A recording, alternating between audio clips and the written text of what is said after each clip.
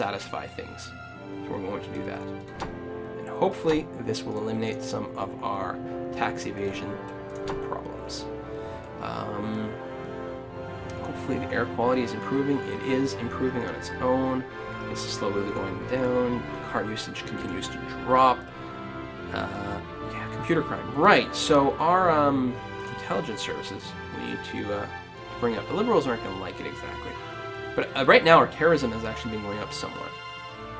And get to the point where it's actually flat. Actually, maybe we should max it out. It will piss off some people.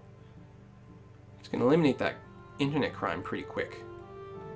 We'll bring it to here. I hope that's enough. Mm, prisons, yeah. Tech advantage still very good. Pollution dropping. Cheap imports. Well, if we were here before, it would have never gone on, but we let it peak just a little too high. Maybe I should have dropped the corporate taxes earlier. It's hard to say.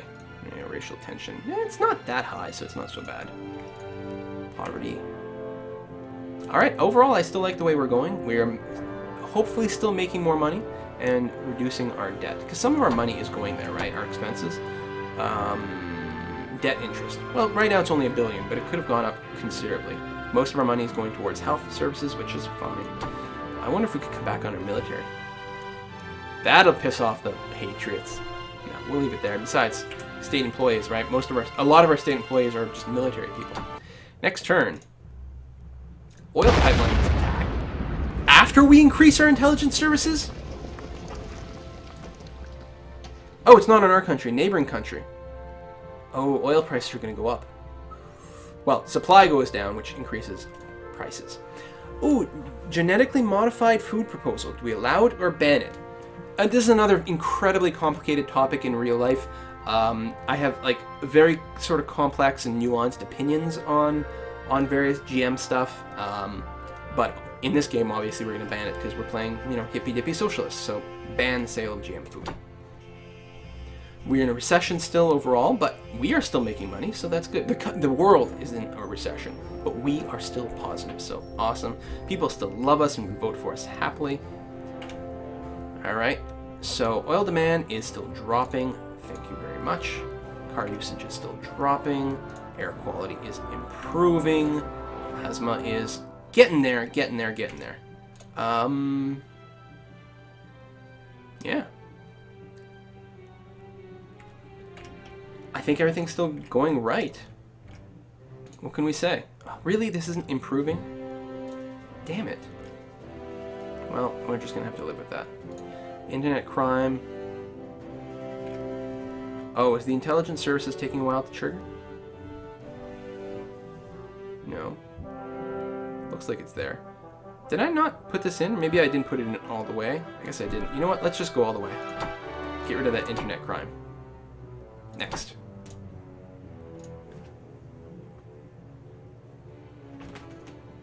Alright, pollution is gone. Environmental experts tell us that our country's pollution problem is now under control. Our citizens no longer need to wear face masks when cycling to work. DNA database. No, we're gonna we're not gonna take a DNA database. That is an infringement on the privacy and rights of our people, and we are hippy dippy socialists, so no. Asthma going down considerably because our air quality well air yeah, air quality wasn't fed by pollution, it was the other way around, but still we're doing pretty good. CO2 is down, unemployment peaked a little bit, but overall we're going to be going okay. Tech grants, right. Tech advantage, still good.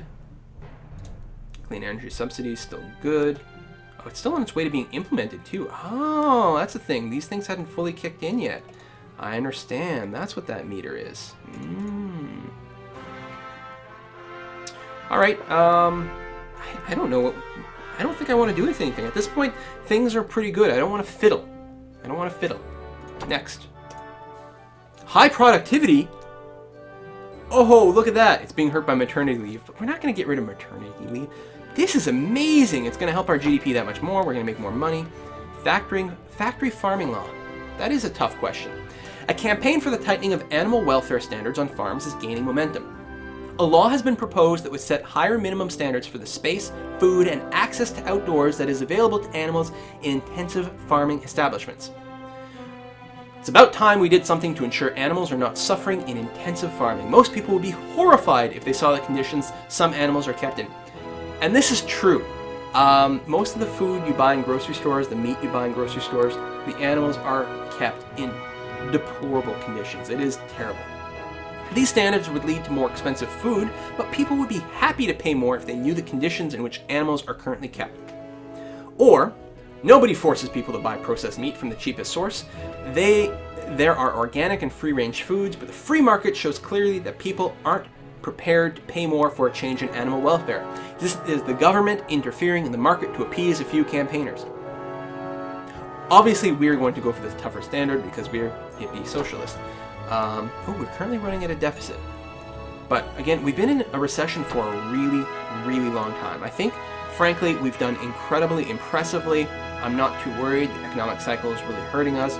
We're going to be fine once it pulls through on the other side. Uh, the oil prices have been going up as well, so lots of things are hurting us. We've got plenty of time to the next election. Our debt's not terrible. We're, we're doing okay. Internet crime is dropping. Thank you very much. Inner city riots gone up a little. Really, Again, mostly caused by poverty. Maybe we should take a more aggressive stand here to drop poverty down. What could we do? Well, we can spend more money. Uh, it may, it's kind of our thing, right? Maybe some welfare? Um,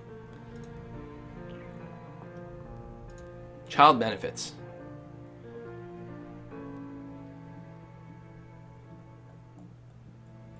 Let's do that.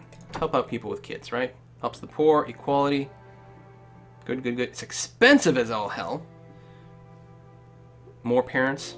And the parents will like us a little bit more, at least. Alright, let's give that a try. I'm not going to overfund it any more than that, but hopefully that's going to be enough to tweak things a little bit. Immigration scandal. Oh. Can't control our borders enough. Oh well.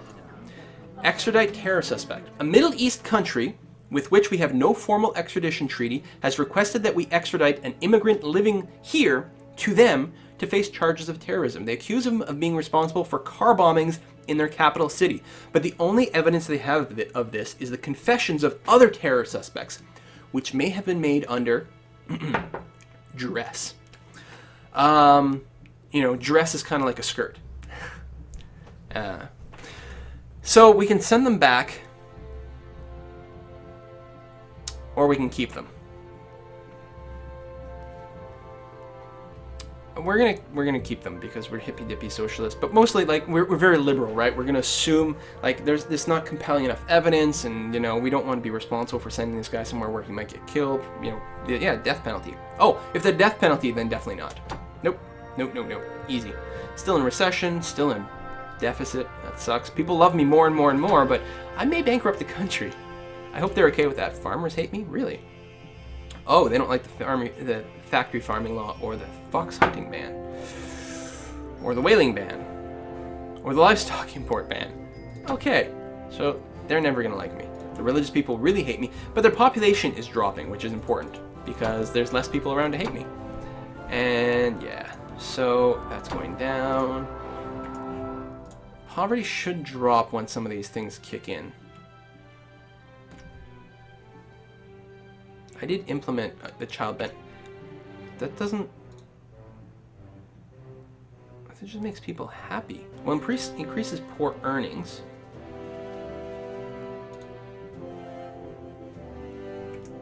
Wait, which... None of this actually eliminates poverty? Okay, child benefit. Screw you. Or was I looking at the wrong thing? No, it just got rearranged.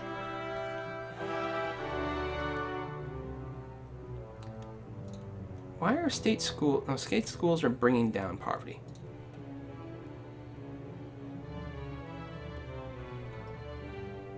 State pensions. Oh, that's expensive. Housing?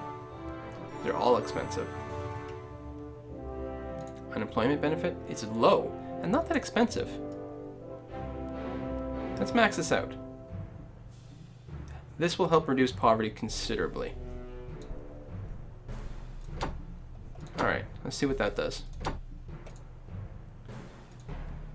Asthma epidemic gone! Yay! Inner city riots gone. Hey! And now we have to appoint a senior judge. One of our most senior and respected judges has died, and now we need to make a choice for his replacement. Um, so we can have Ruben, who's a strong supporter of human rights, making many landmark rulings in favor of individual rights and liberties.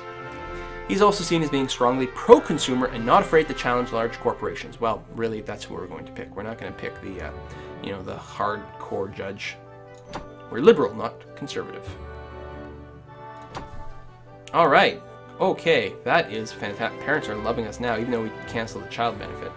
Um, in fact, we could cancel the maternity leave at this point. I think, I mean, we're popular enough, right? We don't have to worry about pissing off anyone. And this is just hurting high productivity and our productivity. This, it's actually stupid that this is the only thing that this would hurt. It only hurts the voting block. Like, it would hurt us with a voting block, period. It has no other effect. So clearly we have to cancel the maternity leave. Even though in reality, maternity leave is probably an important thing. But this is going to help our productivity go through the roof. Awesome. So, um, internet crime on the way down. We're like working our way towards a utopia. You just watch. We have a surplus, even though we're still in a recession. Uh, lots of people smuggling here. They're trying to... Yeah, we're going to let them stay. If they want to come to our country, that's fine. 92% of the vote. 92% of people would vote for us. How sick is that? Productivity. High productivity is shooting up. Productivity is shooting up. All these things are helping the GDP, which should be pretty good overall, despite the fact that we're in a poor economic cycle. This is incredible. Lots of international trade because of some of the decisions we've made, right? Um, that is over here, so we can see foreign relations are very good. So we get a huge bonus to GDP. Pays. It pays to be nice, people. Um, this is going down very slowly. Poverty is definitely dropping, which has the effect on crime. Is dropping a lot. And the internet crime, hmm, slowly getting there. Let's um let's pump up our police service. Oh, they're already maxed out. Crime. What else would lower crime?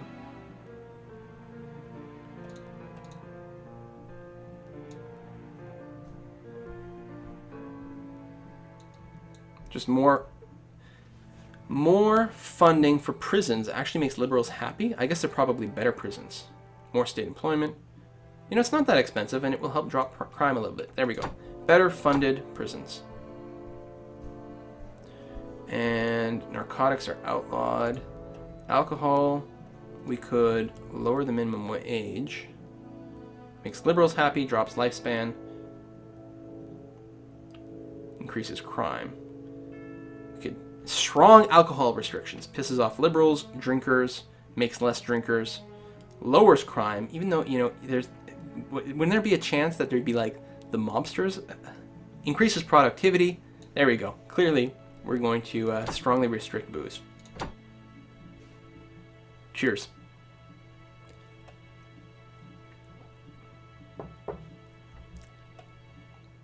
Alright, let's see what that does. Market meltdown. Uh-oh. We may not have done anything wrong, but crisis in confidence in the overseas mortgage market, mmm, mortgages, has led to a global meltdown for the stock market. Big financial institutions are panicking, and there's likely to be a major international credit squeeze. The upshot of this will be a major hit to our economy in the short term. God damn it. We have an $8 billion surplus. Nuclear test ban treaty? Yes, we're going to sign that. No testing, nuclear bombs. Internet crime? Still trying to drop, but not doing very well. Intelligence services. Why, why are you not better? We've maxed you out, dude. Should be better at this. Um, crime. Crime's pretty low. Stupid stuff.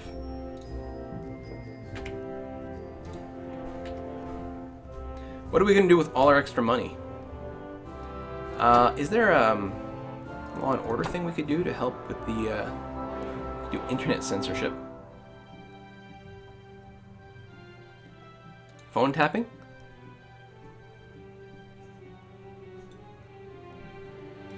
Death penalty. Um, yeah, how do we deal with that?